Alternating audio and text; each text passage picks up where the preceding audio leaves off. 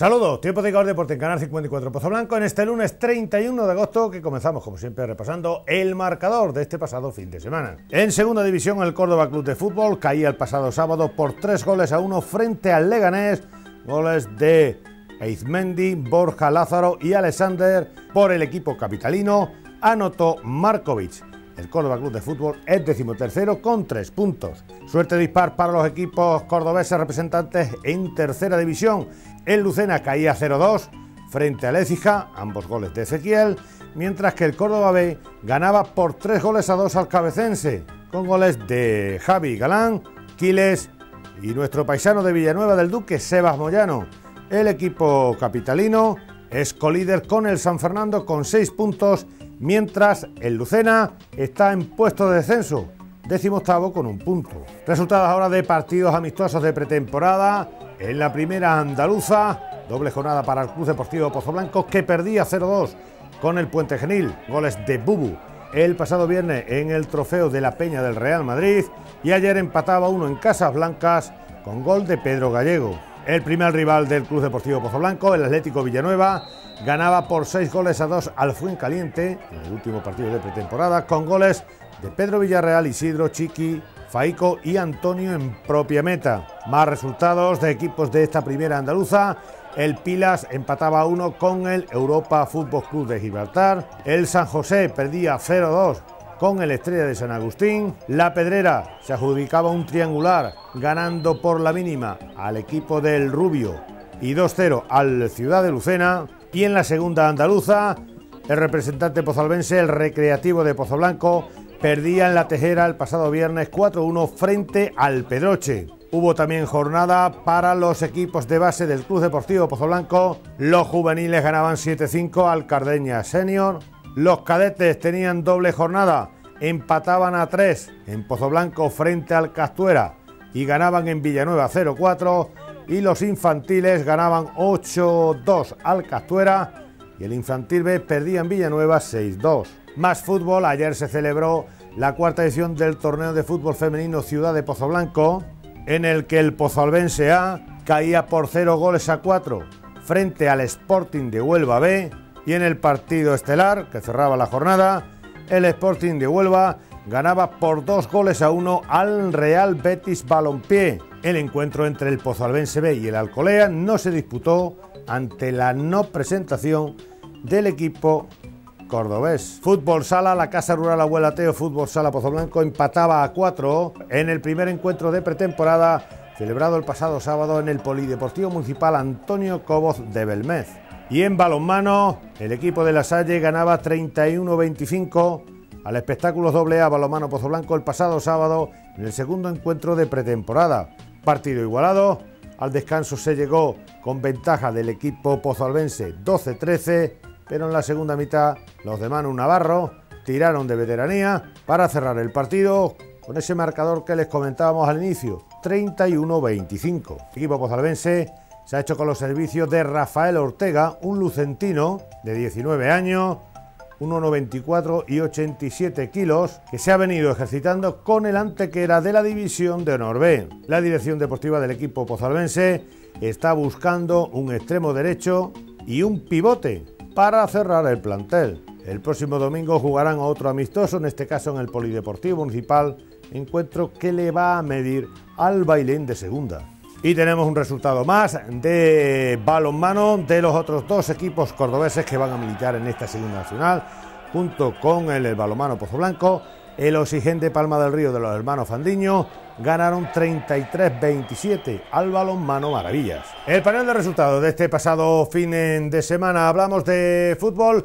El, el, Club Deportivo Pozo Blanco echaba el telón a la pretemporada 15-16. En la tarde de ayer en Casa Blanca firmando un empate a uno frente al Peñarroya. El partido, al igual que el del pasado viernes, no fue bueno del equipo pozalbense, que vio cómo el Peñarroya se adelantaba en el marcador en una mala primera parte de los de Mario Roja. Afrontaron el partido con numerosas bajas y con más de un problema. La segunda parte mejoró algo el equipo y Pedro Gallego anotó el gol del empate. El Club Deportivo Pozo Blanco cierra una pretemporada algo atípica, irregular y como comentaba el técnico pozoalbense, no demasiado bien estructurada. En total, el Club Deportivo Pozo Blanco ha disputado cuatro partidos y medio, con tres victorias, dos frente al Puerto Llano, 0-3 en la ciudad minera y 4-1 en el Polideportivo Municipal, una goleada en medio tiempo a la Ñora, 6-0, un empate, el de ayer en Peñarroya, y una derrota en el encuentro del pasado viernes en el trofeo de la Peña del Real Madrid frente al Saler Cosmético San Fermín de Puente Genil.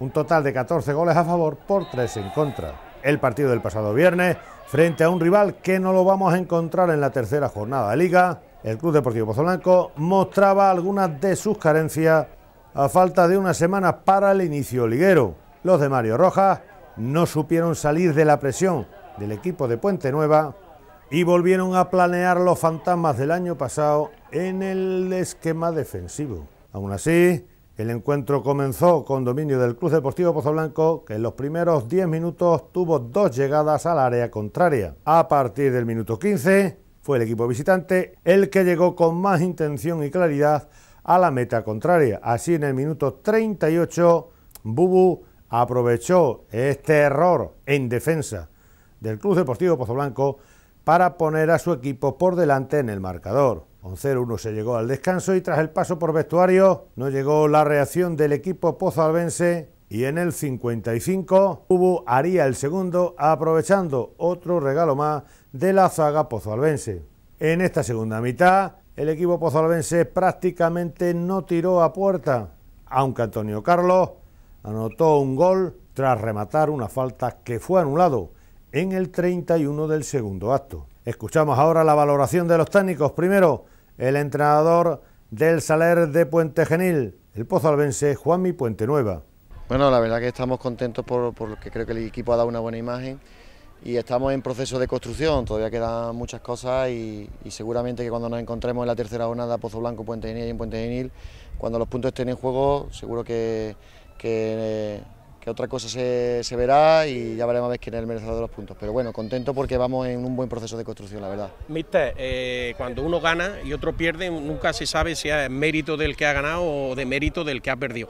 Yo lo que he visto es que tu equipo está mucho mejor plantado y el Pozo Blanco realmente no ha trenzado dos dos jugadas. Eh, el nivel, mm, quizás nosotros somos aquí de Pozo Blanco, lo vemos de otra forma, nos ha decepcionado un poco el Pozo Blanco y tu equipo lo hemos visto bien asentado.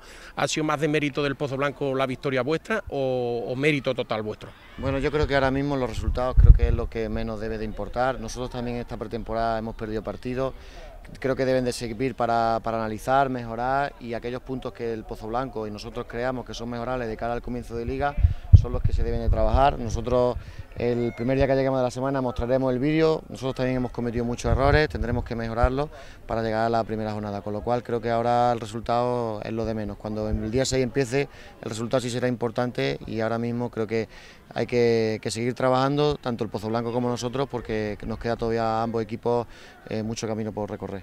¿Te gustaría encontrarte un Pozo Blanco como el de hoy en Liga? Bueno, eh, la verdad que los partidos en liga cambian porque seguramente el Pozo Blanco no tendrá tantos cambios, no tendrá tantas pruebas, nosotros tampoco, eh, seguramente jugarán muchos minutos 11 jugadores, entonces el partido no, puede ser comparativo por, ninguno de los aspectos, por el, partido es amistoso, no hay puntos en juego y seguramente habrá otro Pozo Blanco y seguramente eh, intentaremos que haya otro Puente Genil y mejorar. La idea es muy clara. ¿eh? Bueno, sí, en ese aspecto sí estoy contento porque todo lo que estamos trabajando, pues la verdad que, se ha podido ver en el campo.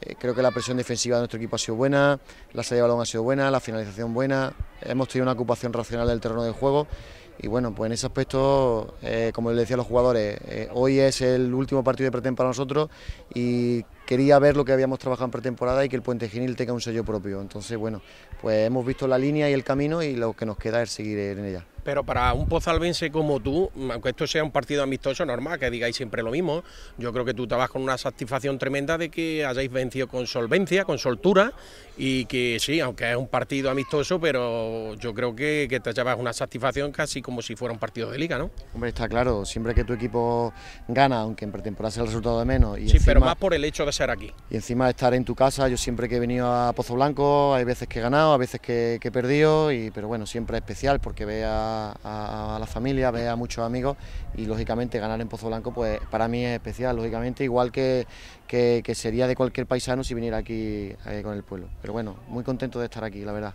mí el 11 inicial va a variar mucho del, del inicio de la liga, vamos, del primer partido de liga. ¿Has querido ya ir perfilando ese 11? Teníamos tres jugadores que no han podido venir por, por motivos laborales y, y por, por, algunas molestias que no lo hemos querido forzar. Y bueno, eh, eh, creo que hemos hecho una mezcla entre primer y segundo tiempo. Mm, sí es cierto que, eh, el 60-70% será similar, pero todavía nos queda mucho trabajo por delante durante una semana y ver cuál será el mejor once que podamos sacar contra el Montalbeño. Menos en los resultados sí se ha visto la evolución ¿no? de tu equipo en esta pretemporada. ¿no? Esta semana ya llegaban las primeras victorias después de, el resto que han sido derrotas. Ahora se reafirma con un buen juego. ¿Va a llegar en un buen momento el Puente Genil la semana que viene? Sí, eso es lo que estaba comentando, que el resultado posiblemente es lo de menos. Cuando hemos perdido hemos estado tranquilos y ahora que hemos ganado pues también tenemos que estar tranquilos. Lo que se trata es de que el equipo llegue al 6 de septiembre en las mejores condiciones posibles. Estamos contentos de lo que hemos visto hoy. Como he dicho antes, hemos visto la línea que tenemos que seguir y bueno, pues como digo, contentos pero todavía con, los pies en el suelo porque eh, los resultados en pretemporada de menos. Nosotros en la primera parte de la pretemporada teníamos muchos juveniles, hoy de hecho ha jugado incluso un cadete que, no, que está haciendo la pretemporada en el primer equipo que ha jugado, eh, han jugado juveniles también con nosotros y, y contento porque hemos probado a mucha gente en los primeros partidos y ahora pues sí poco a poco vamos perfilando el equipo que queremos a final de temporada. ¿Esperabas más del Pozo Blanco? ¿Te ha decepcionado o lo esperabas así? ¿Qué esperabas? Bueno, el Pozo Blanco como nosotros, vuelvo a repetir, Pablo, el Pozo Blanco está en rodaje. Creo, que, creo que tenéis que estar tranquilos y la afición debe estar tranquilos porque porque bueno, estamos en plena pretemporada y creo que es el momento de, empujar al equipo y ayudar. El momento del análisis llegará a partir de que los puntos empiecen a, evolucionar y bueno, eh, no se trata de ni que me haya ilusionado y desilusionado, creo que el Pozo Blanco ha hecho un partido de pretemporada igual que nosotros, hoy sí es verdad que no han sido las cosas mejor, pero que los dos equipos estamos en pleno proceso, con lo cual creo que tenéis que estar tranquilos. Cara de circunstancias del técnico del Club Deportivo Pozo Blanco, Mario Rojas. Bueno, un equipo en contra también con mucho oficio, ¿no? con, con mucha veteranía también bien trabajado, un equipo con mucha experiencia, como digo, y bueno, creo que también nosotros le hemos regalado el balón en, momentos puntuales, el caso de prácticamente los dos goles, ¿no? Pero bueno, yo creo que nosotros tampoco hemos estado fluidos a la hora de sacar el balón, nos pesa mucho toda la semana y 15 días atrás no prácticamente hemos entrenado más que un día todo el equipo juntos, ¿no? Y se está notando, ¿no? Pedro Jesús, por ejemplo, cuando salió la segunda parte no había entrenado toda la semana y a la hora de, tocar el balón, y más en, un campo de estos tan, tan rápido, yo creo que se nota mucho, ¿no? Pero bueno, son partidos de pretemporada, tenemos que seguir trabajando y simplemente trabajar y trabajar y ya está. Lo visto hoy sobre el terreno, Mario, puede ser la conclusión de una malísima pretemporada en cuanto a partidos jugados y que podéis llegar muy escasos al inicio de la temporada y acusarlo en esas primeras jornadas. No, hombre, yo creo que no, ¿no? Yo creo que eso, porque el equipo está lo que pasa es que el equipo está entrenando muchas veces jugadores individualmente, ¿no? Pero sí está claro que no hemos tenido una, buena planificación, no hemos tenido esa continuidad, de, hemos tenido dos semanas prácticamente que el equipo no, ha competido, ¿no? Y eso se nota, ¿no? Eh, cuando un equipo se tiene que hacer con muchos jugadores nuevos, con una plantilla también corta, pues es lógico que también tengamos problemas, ¿no? Bueno, esperemos que, el equipo se recupere pronto de esto. El domingo volvemos a jugar otro partido con el Peñarroya, otro equipo de la categoría y, poco a poco pues vayamos asimilando también conceptos y puestos de otra gente que está, que está jugando este año. Mario, debido a que esa mala planificación. Pues bueno, son cosas que pasan, pues hay veces que, no se puede competir con equipos porque aquí hay equipos aquí alrededor que, no entrenan hasta el día 20 o el día 22 empiezan a hacer la pretemporada y cuesta muchísimo buscar equipos, ¿no? Y tienes que desplazarte lejos y, y bueno, son cosas que no se planifican bien y punto. No salimos de la presión en muchas ocasiones. Bueno, hemos visto que, nosotros cuando las dos o tres veces que hemos salido de la presión hemos llegado al contrario perfectamente, ¿no? Pero sí es verdad que nos ha costado, ¿no? Nos ha costado. Ella un equipo que estaba jugando con dos jugadores arriba, con dos, con dos delanteros centros prácticamente, ¿no? Y nos estaban presionando bien, ¿no? Nos dejaban tocar el balón y cuando llegaba el balón a banda nos han presionado muy bien, ¿no? Pero bueno, eso ya te digo, son cosas que pasan, que el equipo no ha estado fino y, bueno, tratar de, recuperar a los chavales cuanto antes porque el equipo estaba bastante roto psicológicamente y ahora mismo y, bueno, esperas que el domingo se las cosas mucho mejor. ¿Qué es lo que menos te ha gustado? Bueno, yo creo que nosotros cuando hemos tenido el balón al principio de la primera, de la primera parte eh, lo hemos regalado rápidamente, no hemos llegado bien a banda, pero hemos, lo hemos rifado, ¿no? hemos tenido varias veces para, para hacer un 2 contra 1 con Chará y Sancho en la primera parte y no hemos tenido esa, esa genialidad o esa mm, veteranía de decir doble por banda o toco, ¿no? y hemos regalado el balón. También cuando ellos aún habían tirado todavía puertas, hemos tenido dos entradas por banda que, hemos rematado más de cabeza, ¿no? una sobre todo de Sujergo, que son, momentos puntuales y goles en los cuales eso se nota, ¿no? esa ocasión hay que meterla, hay que materializarla porque luego te puede llegar un error como el nuestro en el primer gol y, te puede pasar eso. Hoy han aflorado algunos de los problemas del año pasado, ¿no, Mario? A falta de una semana para el arranque liguero, todo tiene solución, ¿no? ¿Qué problema del año pasado? No sé qué me... Quiero decirte algunos problemas que hemos tenido ahí atrás, ¿no? De, errores más o menos. Sí, sí, bueno, hemos visto, hemos visto como te he dicho antes, te he dicho antes que los dos goles de ellos han sido regalos nuestros, ¿no? No puede ser tampoco que un jugador con la veteranía de Fran pues vaya con esa tranquilidad al balón, ¿no? Y yo eso muchas veces le achaco también a falta de comunicación, Yo creo que eso es es fundamental en el, fútbol, ¿no? Y es una de las cosas que más me ha gustado de este equipo de Puente Genil, la, la comunicación y lo bien visto que estaba el equipo y lo bien visto que estaba el equipo cuando se estaban hablando unos con otros y le estaban situando ellos mismos, ¿no? Aparte de lo que está diciendo el entrenador, siempre tienen en cada línea jugadores, ¿no? Nos vamos a descubrir ahora este equipo, tiene jugadores que están jugando segunda vez, Leduchía, tiene Fito, tiene que... Tiene y tiene muchas cosas dentro del campo que tiene comunicación. Bueno, tú a lo mejor ni lo sabes cuáles son en un momento dado, Pablo. Entonces vamos, vamos a decir, no hace falta, no hace falta que me lo digas, si yo lo sé, tú no me lo vas a decir tampoco.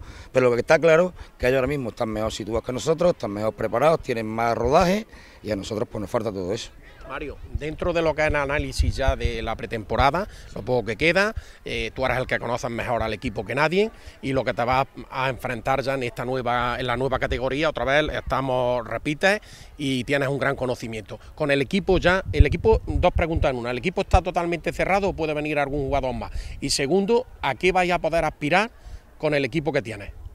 Bueno, en principio el equipo no sé todavía si está cerrado. Yo ya le he dicho al club también y a, sobre todo a Manolo Trujillo que con 17 o 18 jugadores no se puede competir para, conseguir objetivos, ¿no? Y, pero bueno, esto sabemos que, aquí no hay, no hay dinero, no hay cosas para, poder traer jugadores, tampoco hay jugadores que te puedas traer de, Córdoba de delantero centro ni, ni de calidad, ¿no? Porque yo ya he dicho 40.000 veces que para venir a entrenar un día no voy a querer jugadores, ¿no? Para eso no entreno yo, que venga alguien a entrenar y yo no voy a querer así, ¿no? Entonces, por mi parte, yo creo que teníamos que tener una plantilla de 20 jugadores, eso es lo que yo le estoy demandando y, bueno, eso es lo que yo he hablado. Y sobre lo que ha dicho las aspiraciones va a depender mucho de cómo el, equipo, cómo el equipo empiece, cómo, como todas las circunstancias se den, ¿no? Tenemos un calendario al principio complicado, los tres primeros partidos, con tres derbis, con dos salidas y bueno, vamos a ver cómo, se desarrolla. ¿no? Yo creo que también ahora mismo es pronto para decir todavía dónde podemos estar. ¿no? Si está claro que este año con la con el tema de, cómo está la competición y cómo está la liga, con, con, tanta historia y con el tema este de, la reconversión de la categoría, va a ser complicado y va a ser muy duro. ¿no? Y no podemos tampoco lanzar las campanas al vuelo porque va a haber mucha, mucha igualdad. Hablamos ahora de fútbol sala. El equipo pozalmense jugaba su primer encuentro de pretemporada el pasado sábado en Belmez frente a un equipo que va a debutar en categoría provincial esta próxima temporada, el Belmezano Fútbol Sala. Empate a cuatro en este primer partido de pretemporada, donde los de Juan Carlos Blanco voltearon el marcador en la segunda mitad, ya que al descanso los de Belmez mandaban en el luminoso por 3 a 1. La primera oportunidad de gol sería para el equipo pozalmense este robo de balón de Tete. Su disparo termina fuera. En el minuto 5 hay este jugadón de Carlos que de fuerte disparo bate a puerto. Tres minutos más tarde llegaba el segundo, jugada al primer toque del cuadro belmezano y Álvaro sube un nuevo gol al luminoso. Lo intentó a balón parado el equipo pozalbense en esta falta que bota Rizos para que dispare Alfonso fuera. A corto distancia el equipo pozalbense en el minuto 11, en una jugada que inicia Tete, con Rafa Dueña que devuelve la bola para que anotara Tete. De nuevo a balón parado, creó peligro el equipo pozalbense. En esta ocasión, Tete habilita a Alito, su disparo lo despeja el portero. Cuando mejor estaba jugando el equipo pozalbense, hay un error, una pérdida de balón el Belmezano monta el contraataque que convierte Fidel en el tercero. Un minuto más tarde pudo hacer el cuarto el equipo de Belmez, de nuevo al contraataque, pero en esta ocasión la abortó Cete. A siete minutos del final y con el marcador 3-1, el técnico del equipo pozalbense pide tiempo muerto. Hay una ocasión para cada equipo, pero el marcador no se movió de ese 3 1 que le relatábamos anteriormente. En la segunda parte mejoró el equipo pozalbense y llegaron las primeras ocasiones en las botas de Tete y Alfonso por algún contraataque local hasta que Tete, pase de Juan Macaro, en el minuto 34, acortaba distancias en el marcador haciendo el segundo del equipo pozalbense. Luis Viso pide tiempo muerto para refrescar al equipo. Empezaba a pasar factura el esfuerzo físico de la presión de la primera parte, mientras que el equipo pozalbense a lo suyo. En el minuto 40 empataba el partido a tres Rafa Dueña tras este córner en el que no está afortunado el portero local. Y un minuto más tarde se ponía por primera vez delante en el marcador el cuarto gol lo anotaba Lito tras un robo de balón. De nuevo los errores en defensa del equipo pozalbense le costaba el empate. Lo anotaba a cinco del final Jodar. De ahí al final del partido, una ocasión para cada equipo y la última opción del choque la tuvo el Belmezano con esta falta que ensayó Jodar, que salió fuera por poco. El primer quinteto de la pretemporada de Juan Carlos Blanco fue el formado por Puerto en portería, con Josete, Tete, Rizos y Cajas. Después jugaron Vicente Rodríguez y Juan Ángel, portero suplente, Urco Sánchez, Pablo Torrico, Juan Macaro, Dalmacio, Rafa Dueña y Miguel García Lito. El Belmezano Fútbol Sala formó el quinteto inicial con Emilio en portería, Carlos, Cartone, Álvaro y Juve. Después jugaron Álvaro, portero suplente, Paco, Sergio, Rafa, Luisma, Jodar, Fidel y Javi. El 1-0, minuto 5 Carlos, 2-0, minuto 8 Álvaro, 2-1, minuto 11 Tete, 3-1, minuto 12 Fidel, el 3-2 Tete en el 34, el 3-3 Rafa Dueñas en el 40, el 3-4 Lito en el 41 y el 4-4 definitivo, minuto 45 Jodar. A la conclusión del encuentro hablábamos con los técnicos. Primero el entrenador del Belmezano Fútbol Sala, Luis Biso. El problema ha sido ese, claro. Indudablemente llevamos tres días solamente trabajando y bueno, hay que reconocer que el equipo, bueno, hay jugadores que vienen la mayoría del fútbol, entonces son jugadores que no están acostumbrados tampoco a esa intensidad en fútbol sala y es un poquito más complicado para, poder conseguir al menos eh, hacerle entender que, bueno, que esto dura 40 minutos, que obviamente no, son, no es un solo tiempo. ¿no? Es verdad que la segunda parte Pozo Blanco ha sido muy superior y de hecho eh, del 3-1 hemos podido ganar el partido vamos, con cierta facilidad. Luego al final, bueno, es verdad que hemos tenido suerte, hemos conseguido empatar, pero es cierto que Pozo Blanco ha tenido una, una segunda parte bastante superior a nosotros. La primera parte empezó primeras aproximaciones del equipo pozalbense, pero pronto, fruto a esa presión, eh, hicisteis de momento eh, goles, ¿no? Sí, eh, tengo una... táctica de presionar arriba. Indudablemente, indudablemente, sí, sí. Tengo un equipo muy joven, un equipo muy habilidoso en ataque y yo creo que hay que aprovecharlo. Me falta gente defensiva, lógicamente, pero bueno, yo vamos a intentar corregirlo de esa manera, presionando, intentar robar muy arriba y lógicamente cuando tienes jugadores que finalizan, eso es siempre eh, un punto a favor, ¿no? lógicamente. La segunda parte sí es cierto que no ha habido muchas ocasiones, pero vamos, eh, te han dado una mínima y la habéis aprovechado. Sí, por eso. muy atento y fresco incluso. Por eso estoy diciendo que hay, hay jugadores muy habilidosos, muy, muy buenos en uno contra uno y tengo que aprovecharlo de esa manera. Por desgracia, pues no me falta gente defensiva, intentaremos buscar si la encontramos bien y si no, pues, pues, tendremos que apañarnos con lo que tenemos. Pero vamos, yo creo que hay un equipo, una plantilla para hacer un buen papel en segunda andaluza. ¿Cómo te enrollas en esta aventura? Bueno. Eh, me enrollé porque, bueno, yo qué sé, la verdad que no era mi intención.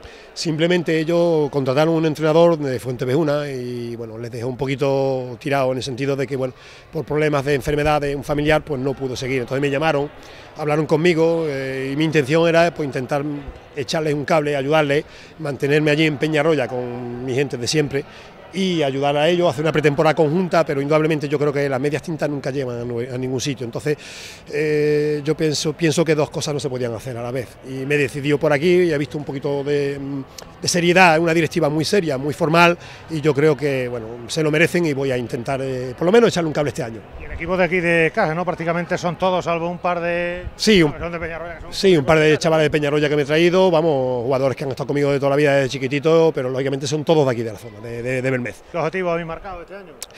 Eh, bueno, sí, no, yo indudablemente no, yo sí, eh, siempre he sido un poquito ambicioso. Yo mi objetivo lo tengo clarísimo. Yo quiero acabar en por lo menos los cinco primeros. Eh, lo tengo claro. Nunca me voy a dar por vencido en ese aspecto, ¿no? Y yo voy a intentar luchar por estar ahí en los cinco primeros y bueno, y luego lo que venga, pues bienvenido sea. Tiempo de pedir se nos arregla un poco la pista. Sí, indudablemente la pista he visto jugadores que se caen al suelo solitos, vamos. Yo no sé lo que le pasa a la pista, pero vamos, indudablemente es, complicado, es complicado jugar, los jugadores no se mantienen en pie, no sé lo que harán con ellos, pero vamos, ya veremos a ver qué podemos hacer por ello. Suerte para esta nueva aventura, seguro que conociendo un poco ¿no? tu trayectoria, el trabajo y demás, seguro que va a ser todo un éxito y bienvenido a un nuevo club, a esto del mundo del fútbol sala, mientras más estemos mejor. Efectivamente, era un poquito, es lo que yo me propongo, ¿no? Eh, ayudar a esta familia a sacar esto adelante y bueno, y que sea un equipo más dentro de la, de la provincia, por lo menos que el fútbol sala siga viviendo para arriba. Cursamos también la opinión del técnico del equipo pozolvense, Juan Carlos Blanco. Después de dos semanas de trabajo, llegó el primer partido de la pretemporada 15-16. El resultado es lo de menos.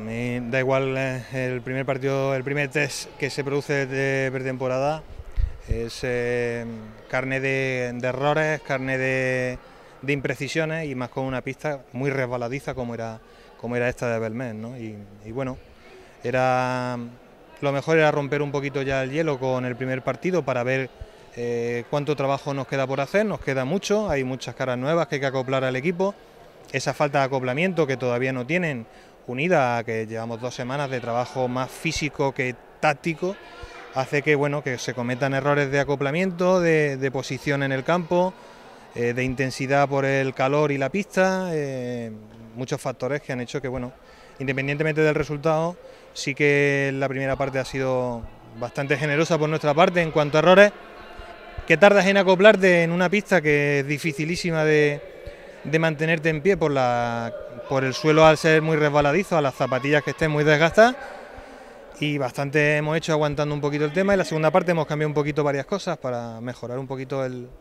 el nivel defensivo, eh, variando el media pista con arriba tres cuartos y hemos intentado descuadrarle un poquito.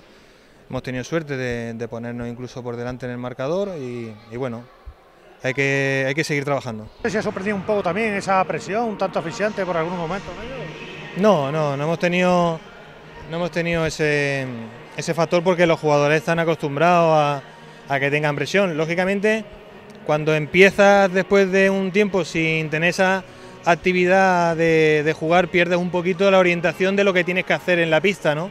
Y eso se apaga en los primeros 25 minutos, ¿no? Andas un poquito perdido en el campo, sin saber ubicarte dónde tienes que estar, con balón, sin balón.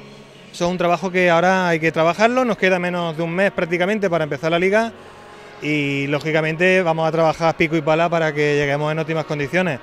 La semana que viene nos toca un rival difícil y lo vamos a afrontar con las máximas garantías trabajando desde el lunes. En tu libreta, ¿qué has puesto en el debe y en el haber después de este partido? Muchas cosas. El, trabajo individual, el, acoplar estos jugadores sabiendo cómo tienen que jugar, los nuevos con los veteranos, entre comillas, aunque ya son jugadores que han estado en el club, pero después de X años sin competir en tercera, eh, tienen que asumir el rol que tienen que tener en el campo, qué tienen que hacer y qué no tienen que hacer. Eso es trabajo de día a día, llevamos dos semanas donde ya te digo, tácticamente no hemos trabajado apenas nada y bueno, intentaremos eh, llegar sobre todo al día de Virgili, que es el, que, el objetivo que nosotros tenemos.